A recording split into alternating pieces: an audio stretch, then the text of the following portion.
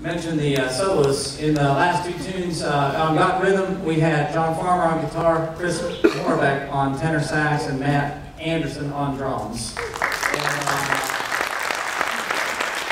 on that tune, we had Ahmad Smith on piano, John Farmer guitar, and Chris Morbeck on tenor sax. You'll be hearing more from all those guys.